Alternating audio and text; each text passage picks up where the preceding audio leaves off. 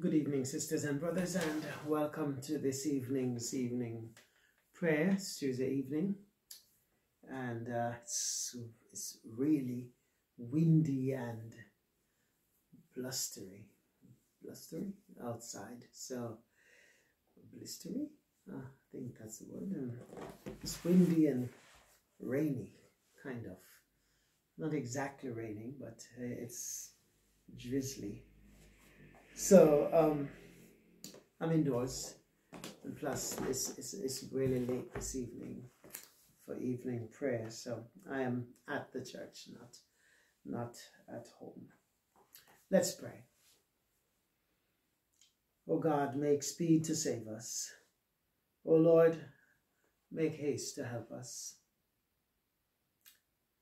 That this evening may be holy, good, and peaceful let us pray with one heart and mind.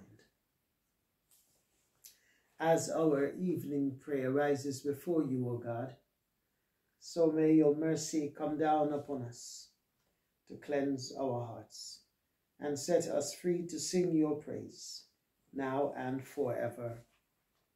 Amen. Open my eyes, O Lord, that I may see the wonders of your law. Open my eyes, O Lord, that I may see the wonders of your law. Lead me in the path of your commandments, that I may see the wonders of your law. Glory to the Father, and to the Son, and to the Holy Spirit. Open my eyes, O Lord, that I may see the wonders of your law. Our psalm this evening is uh, Psalm 33. Psalm 33. And as I said this morning, we're remembering Theodore, the Archbishop of Canterbury, who died in the year 690. Theodore of Tarsus, Archbishop of Canterbury, died in the year 690. So Psalm 33 is our psalm. First, the refrain. The earth is full of the loving kindness of the Lord. Rejoice in the Lord, O you righteous, for it is good for the just to sing praises. Praise the Lord with the lyre, and the ten-stringed harp sing his praise. Sing for him a new song, play skillfully with shouts of praise. For the word of the Lord is true, and all his works are sure. He loves righteousness and justice. The earth is full of the loving kindness of the Lord. By the word of the Lord were the heavens made, and all their hosts by the breath of his mouth.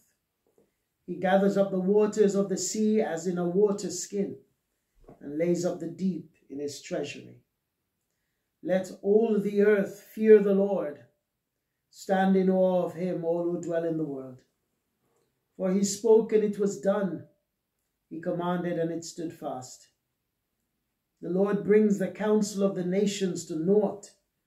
He frustrates the designs of the peoples. The counsel of the Lord shall endure forever, the designs of his heart from generation to generation. Happy the nation whose God is the Lord, and the people he has chosen for his own. The Lord looks down from heaven and beholds all the children of earth. From where he sits enthroned, he turns his gaze on all who dwell on the earth. He fashions all the hearts of them and understands all their works. No king is saved by the might of his host, no warrior delivered by his great strength. A horse is a vain hope for deliverance, for all its strength it cannot save. Behold, the eye of the Lord is upon those who fear him, those who wait in hope for his steadfast love, to deliver their soul from death and to feed them in time of famine. Our soul waits longingly for the Lord. He is our help and our shield. Indeed, our heart rejoices in him.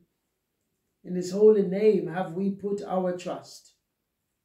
Let your loving kindness, O Lord, be upon us, as we have set our hope on you. The earth is full of the loving kindness of the Lord. Glory to the Father, and to the Son, and to the Holy Spirit, as it was in the beginning, is now, and shall be forever. Amen. And our prayer. Feed your people, Lord, with your holy word, and free us from the emptiness of our wrongful desires, that we may sing the new song of salvation through Jesus Christ our Lord. Amen. All right, let's uh, let's do the Magnificat, the Song of Mary. Have mercy on those who fear you. You have mercy on those who fear you from generation to generation. My soul proclaims the greatness of the Lord. My spirit rejoices in God, my Saviour. He has looked with favour on his lowly servant.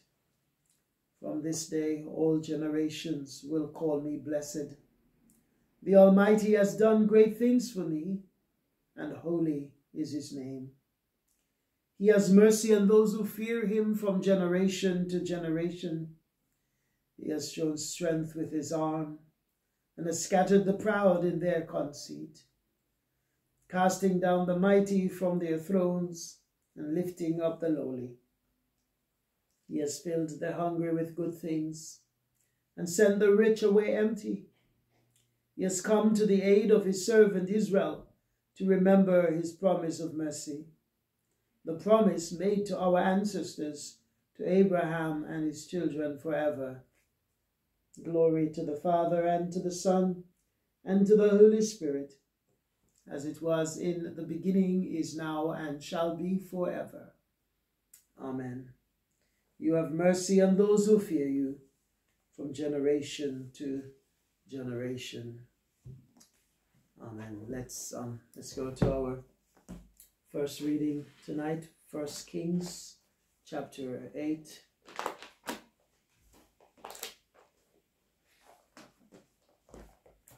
First Kings chapter 8 from verse 63 to chapter 9 verse 9. First Kings 8, from verse 63 to chapter 9 and verse 9.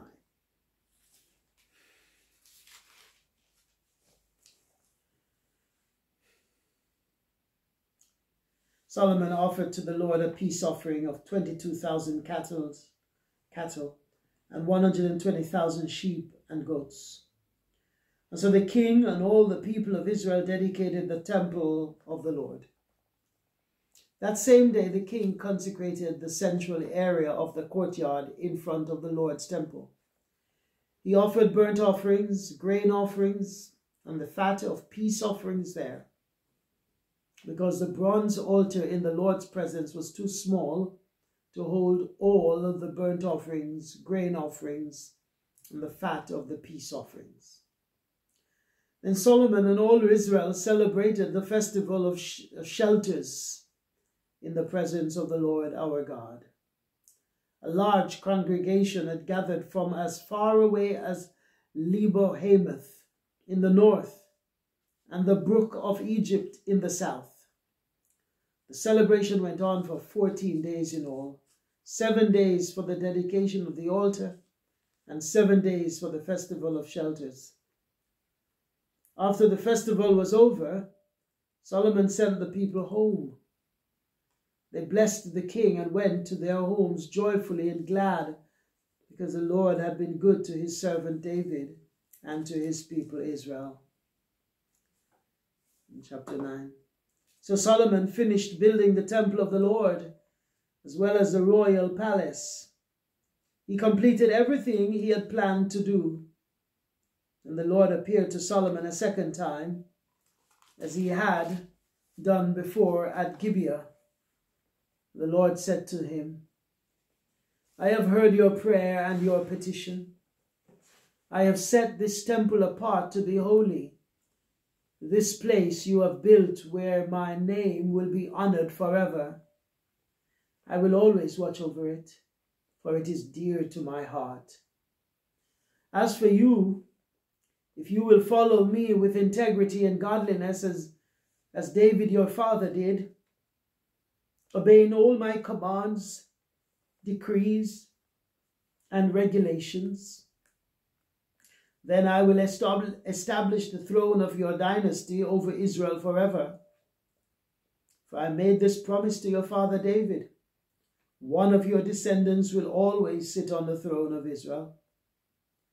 But if you or your descendants abandon me and disobey the commands and decrees I have given you, and if you serve and worship other gods, then I will uproot Israel from this land that I have given them.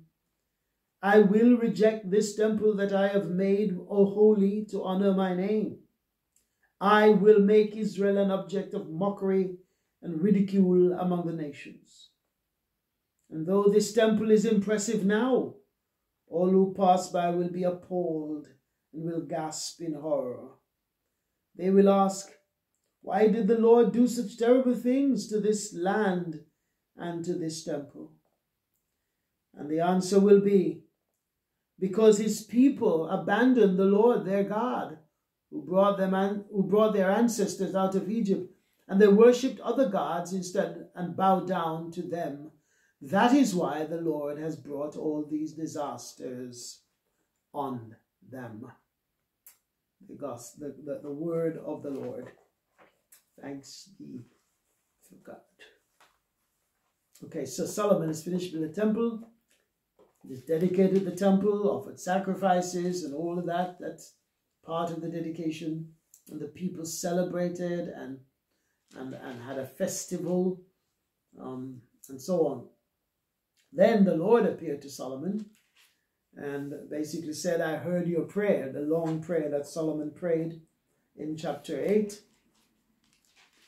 Um, God said, I have heard your prayer, and I promise that I will be with you. But this is a covenant between the two of us. I will do my part, but you and the people of Israel must do yours. If you abandon my ways if you follow after other gods, then I will bring this temple down. I will bring this nation to ruin. You know, it's God's God's threat. you know, it's like you don't you you you you you you abandon my ways, you disobey my laws, and this temple, which is magnificent and awesome now, will be a ruin, and the people will will, will cry. The, the people will be sent into exile and so on. And of course, that very thing happened not 500 years later, around some, some 500 years after this, or probably less, really. That exact thing happened. The people abandoned God, the people followed after foreign gods, and they, they worship and served idols and uh, and and as a result, God brought judgment upon His own people. And um, in order to purge them, in order to discipline them, God does that, sisters and brothers. That God brings judgment on His people when we do not listen to His command, when we forsake His ways, when we forsake His decrees. God is a God of judgment as much as He's a God of love and goodness and mercy and the, the, the covenantal relationship that we enter in, into with God or that God has entered into with us really is a two-way is a two-way street. Uh, God will be with us. He will bless us. He will watch over us. He will he will um, give us the, dis, the, the, the, the, he will dispose to us all that is wonderful and good, all of his might, all of his grace. All he asks of us is that we obey his commands, we follow him, we seek to do his will. And that is way too hard for many Christians to do. And that is why, that is why they do not experience, a lot of Christians do not experience the joy and the, the, the, the, the, the the, happiness, the, the joy really, that, that and the hopefulness that comes from knowing Christ because uh, because they have they have strayed away from God's ways, and and and and when we stray away from God's ways, God's ways, we we suffer the consequences of our actions. You know, when we step out of God's will, there's no telling what is outside there. Uh, all the wolves and the and, and, and the lion that is going to tear us to pieces. And that is God's judgment upon us. When we follow our own sinful devices, our own sinful desires, then what will happen is that we'll bear the, the consequences of our actions. And some of those consequences are, are painful indeed. And we cry out to God and say, Oh God, why me? Why did I have to? Why do I suffer like this? Why, why does God, why does God allow such terrible things to happen? The people who pass by says, Why does God allow such terrible things to happen? And, and we may say the same thing in our own lives. Why does God allow this? We know the answer. God allows it because we have walked away from his precepts. We have moved away from his laws. We have we are doing our own thing. You know, most Christians hardly ever read their Bible or pray. Um, I mean, they pray when they're in trouble. They read their Bible when they come to church on Sunday. And, you know, we, we, and then we wonder why we don't experience the blessings of God in our lives. Because we don't follow the precepts of God. We don't follow God's, God's will for our lives. And if we don't follow God's will for our lives, then anything is possible. When we step out of God's will, we, we, we, there is no, there's no telling what may happen to us out there in the wilderness. And so that, that this is the warning to Israel. This is the warning that God has given to Solomon, to the people, and indeed to us, to all of us. Let's get to our New Testament reading. Amen. Let's um Acts chapter 16. Acts chapter 16 from verse 25 to the end. We are we're in Macedonia, in Philippi. Paul and Silas have gotten in trouble by preaching the gospel and by delivering uh, a slave girl from demon possession and from the slavery uh, that their, her master held her in. And now they have been they've been thrown into prison, into the deepest dungeon of the prison. And now we pick up the story at verse 25. Around midnight, Paul and Silas were praying and singing hymns to God, and the other prisoners were listening. Suddenly there was a massive earthquake, and the prison was shaken to its foundations. All the doors immediately flew open, and the chains of every prisoner fell off. The jailer woke up to see the prison doors wide open. He assumed the prisoners had escaped, so he drew his sword to kill himself. But Paul shouted to him, Stop! Don't kill yourself. We are all here. The jailer called for lights and ran to the dungeon and fell down trembling before Paul and Silas. Then he brought them out and asked, Sirs, what must I do to be saved? They replied, Believe in the Lord Jesus Christ and you will be saved, along with everyone in your household. And they shared the word of the Lord with him and with all who lived in his household. Even at that hour of the night, the jailer cared for them and washed their wounds. Then he and everyone in his household were immediately baptized.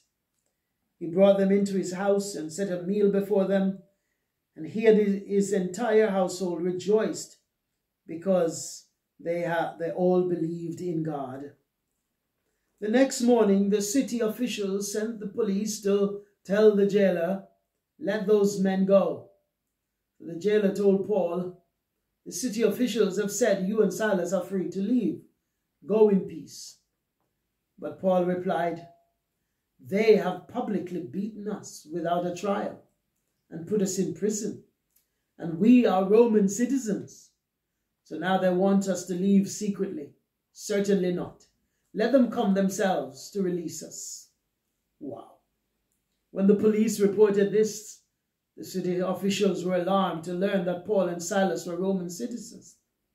So they came to the jail and apologized to them. Then they brought them out and begged them to leave the city. When Paul and Silas left the prison, they returned to their home of Lydia. There they met with the believers and encouraged them once more. Then they left town. I love how Paul, uh, you know, uh, assert his rights. You know, I am a Roman citizen. They treated me unjustly, and, and they want to to you know um, free us quietly. No, no, no, no, no, no. We're not going to stand for it. They need to come and apologize uh, to us because because they, they, they, somebody needs to be held accountable. And uh, the officials came to the prison, apologized to Paul and Silas for beating them and putting them in prison without a trial. Because the according to Roman law, if you are a Roman citizen, and not many people has that privilege. I mean, people who live in the Roman in the Roman Empire, most of them weren't Roman citizens. Roman citizenship comes either through birth or through you, you, you bought your citizenship through you know through through money. You become a naturalized citizen, just like it is today. Um, but but what happened? Uh, there were lots of slaves and some people like that who didn't have citizenship, and there were lots of people who who who had their own ethnic ethnicity and so on. They didn't want Roman citizenship and so forth. So Paul was a Paul and Silas were Roman citizens, were born that way. So here, at least Paul was. So here they found out that these men, though Jewish, because lots of Jews did not become Roman citizens, Paul was a Roman citizen. And by, by putting him in, in, in beating them and then putting them in prison without a trial, that was illegal for Roman citizens. And so Paul required an, uh, an explanation. He wanted an apology and then he will go. so he he exerted his right. Sometimes, sisters and brothers, we have to stand up for our rights. Um, uh, sometimes we don't. sometimes we just need to let it go. Other times, there are times when we need to we need to stand up for what is right and just, and not allow things to just be uh, swept under the carpet, because it will continue, uh, and people must be held accountable for what they do in public office. And, uh, and so Paul did just that. He gave us an example of something to do even as a believer. But we are told about the story about the jailer that um, while in the middle of the night, in the middle of the night, Paul and Silas were praying and singing hymns to God. Now that tells us a lot, sisters and brothers. Here, are, here are two of God's, God's believers, disciples, apostles in prison in the stocks. They are, you know, their, their hands are, are, are in chains, their feet are in chains, their backs are, in, are aching for the beating that they received um, from the lashes. But what are they doing? They're not there and saying, oh God, why are we here? Why me? Why did we ever come over to Macedonia? Why did we ever listen to that vision? And no, no, no, no, no. They're not doing that. They are singing praises to God. The hymns are very likely the psalms that they're singing because the psalms were the hymns of the early church. Uh, I mean, the, the, they were the hymns of the Jewish church, um, the Jewish synagogue, and when Christians started, you know, the, the Christian church started, they were singing the psalms. The psalms were the hymns. The earliest hymns were the psalms. So they're very likely they're singing some of the psalms in the prison and they're praying and they are, uh, you know, in prison, in, in jail. And the, the, we are told that the other prisoners were listening. This is a fascinating thing. They weren't mocking, they weren't jeering, they weren't, um, they weren't, you know, treating Paul and Silas with some sort of contempt. They were listening. And the idea is that they were listening attentively. They were giving attention to what Paul and Silas were doing. They were interested. It piqued their interest. They wanted to hear. They wanted to be part of this. They had an interest, and it's fascinating. We are not told if any of them became believers, but we can assume that some of these prisoners became believers as a result of what they saw and heard that day, that night. Earthquake. During Paul and Silas's worship service, an earthquake happened, and the earthquake burst the, the chains and the doors on the prison the chains of all the prisoners, not just Paul and Silas, all of them. They could have they could have all left. But Paul and Silas somehow kept them all there so that the, the jailer, the jailer's life would be spared. By doing this, Paul and Silas spared the jailer's life. Because if, if he had, had, was sleeping on the job and all these prisoners escaped, he would have been executed, which is why he took his sword to kill himself. Because he, he's like, let me do it before they do it to me tomorrow morning. So, so, so Paul, Paul kept all the prisoners in, in the prison, uh, out in order to save the jailer's life. And in doing that, he saved the jailer's soul. Isn't that an amazing story? What a story. I mean, again, there could be so much bitterness around here because that jailer was horrible to Paul and Silas. He put Paul and Silas in the deepest dungeon of the prison and put their feet and, and hands in stocks. They didn't need to go to that part of the prison.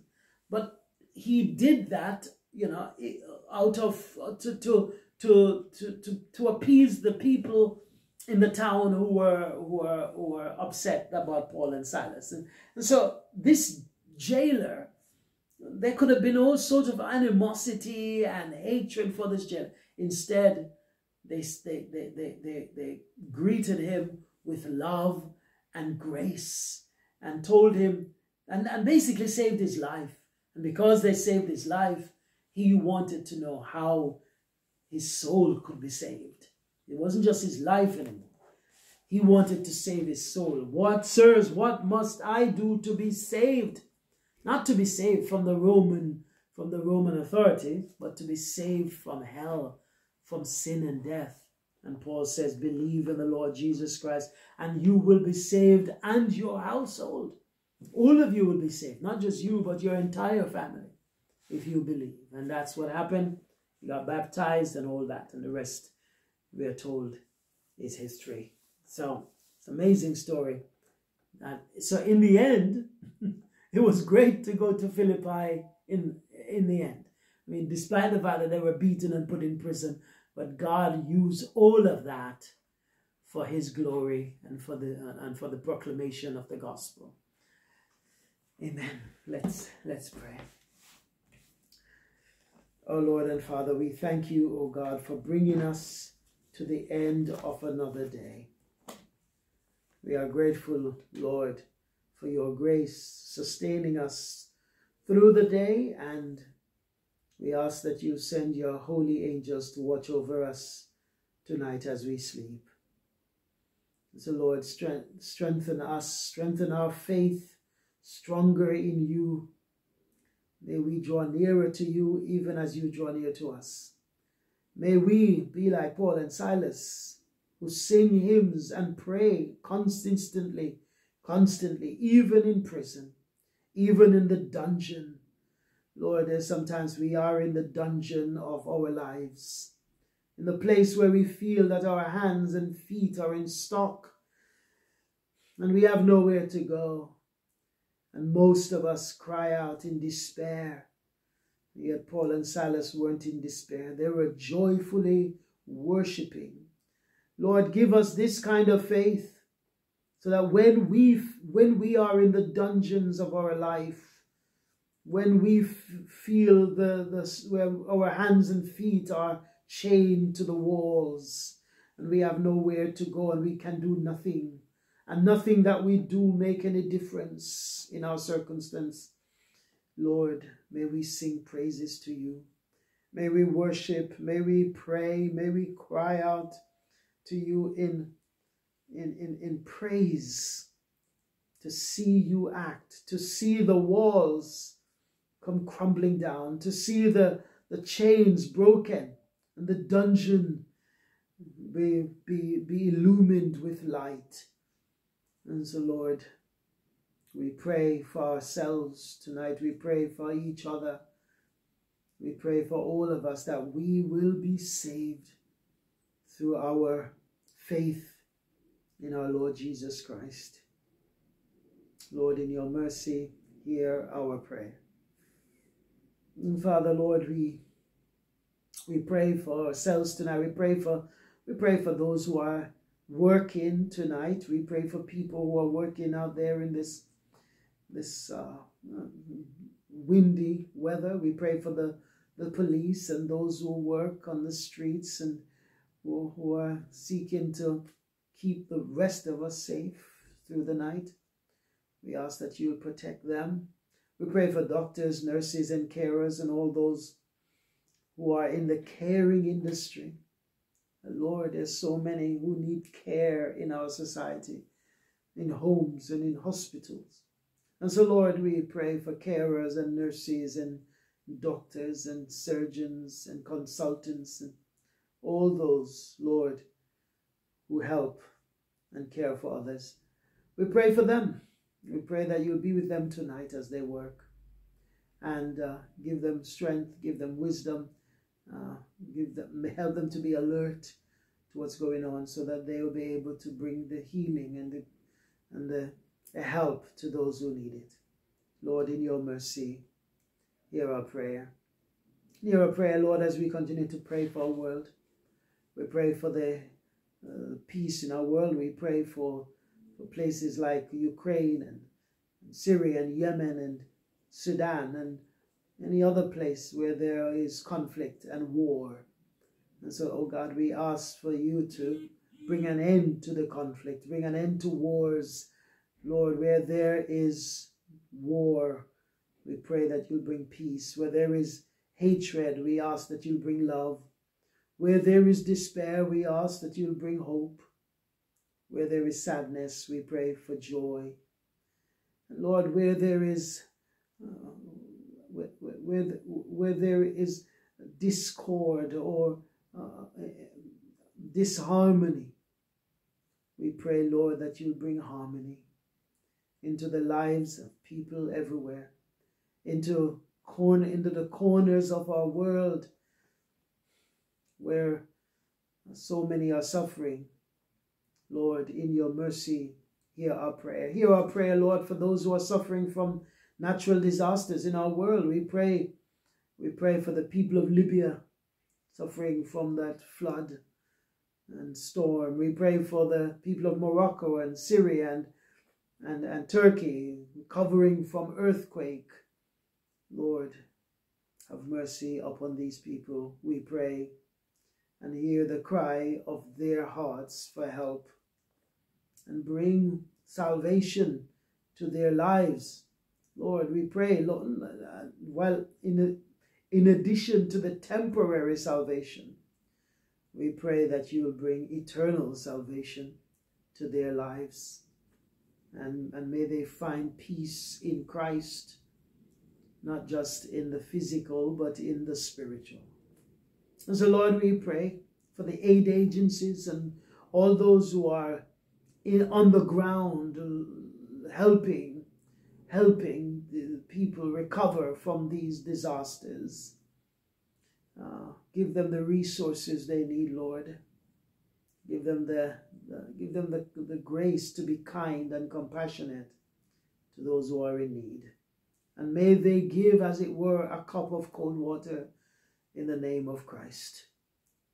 And so, Lord, hear our prayer for these people who are suffering and wherever else in our world as a result of the change in our climate, that the weather patterns are causing um, um, causing uh, death and destruction in various parts of our world. So, Lord, have mercy.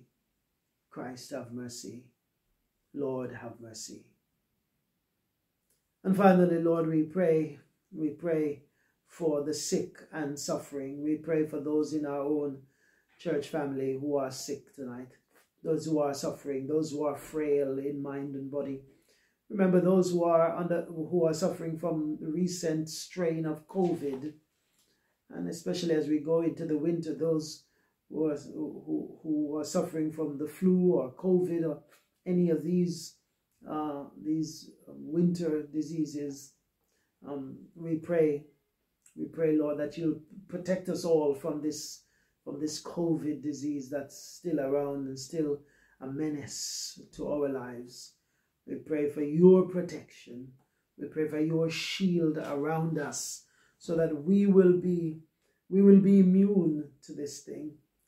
And that Lord, you'll protect our body and spirit and mind from ever getting infected in this way. And so, Lord, we pray for those who are not well tonight. We pray for those who are in pain, or in any form of pain. We pray for those who are undergoing cancer treatment. Lord, in your mercy, hear our prayer and have pity on these, your children. Lord, hear us. Lord, graciously hear us. And so we say our collect for this evening. Abide with us, Lord, for it is evening and the day is drawing to a close. Abide with us and with your whole church in the evening of the day, in the evening of life, in the evening of the world. Abide with us and with your faithful ones, O Lord, in time and in eternity. Amen. Our Father in heaven, hallowed be your name. Your kingdom come. Your will be done on earth as in heaven. Give us today our daily bread. Forgive us our sins, as we forgive those who sin against us. Lead us not into temptation, but deliver us from evil. For the kingdom, the power, and the glory are yours, now and forever. Amen.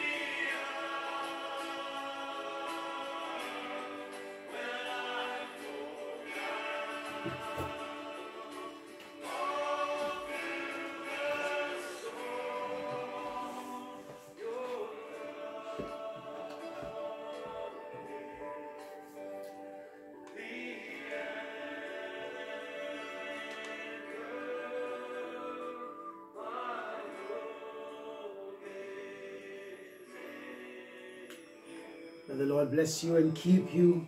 May the Lord look kindly upon you. May the Lord grant you rest and peace tonight, sisters and brothers, as you sleep. In the name of the Father, the Son, and the Holy Spirit. Amen. Good night, sisters and brothers.